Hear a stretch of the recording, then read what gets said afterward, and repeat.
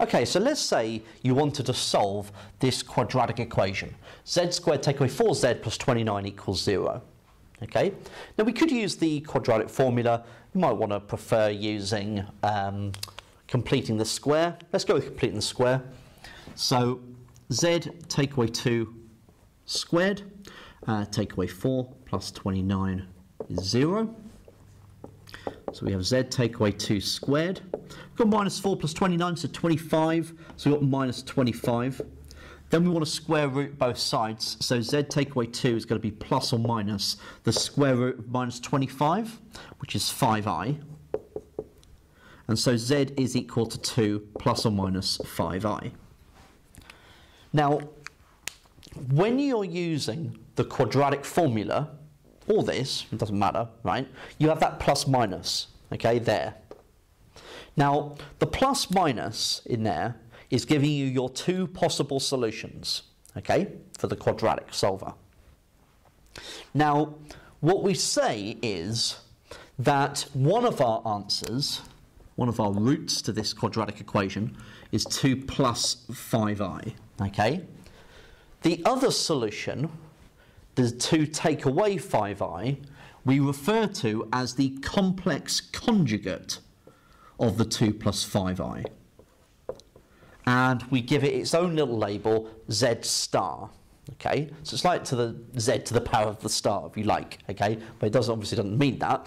So it's just z star is used to represent the complex conjugate.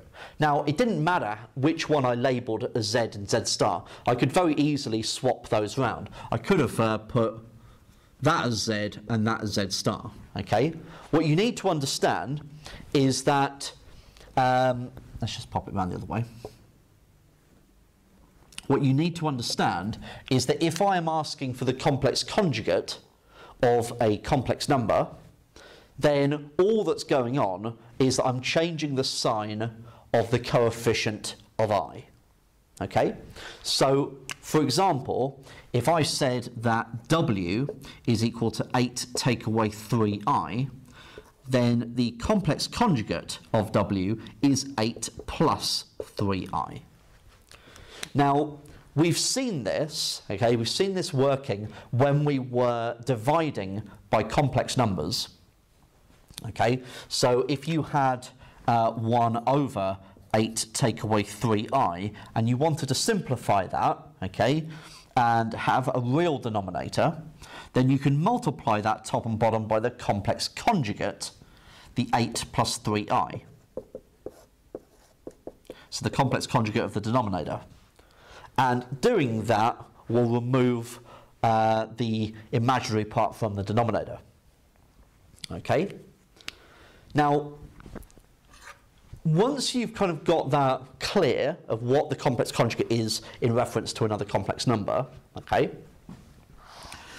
what you need to understand is how it can then work with another complex number, or with its, with its pair. So if we said that z is equal to a plus bi, then its complex conjugate would be a take away bi. Okay? Now, what we were doing when we were uh, simplifying those, the division, okay, when we were dividing by complex numbers, was we were multiplying the z by z star. Okay, so if you multiply a complex number by its conjugate, you've got a plus bi times a minus bi. So you get a times a, a squared. You get the a times the minus bi and the a times bi, which knock each other out. And then you've got the bi times the minus bi, which is minus b squared times minus 1, and you just get the plus b squared. Okay, so z times z star is the same as a squared plus b squared. Okay, so if you had uh, z is equal to 2 plus 8i, for example, then z times z star is equal to 2 squared plus 8 squared. So 4 plus 64. Likewise, uh, if you had z is equal to uh, 3 take away 5i, then z times z star is equal to 3 squared plus minus 5 squared. So 9 plus 25, so 34. Okay? So that's how you can work with the complex conjugate and what it actually is.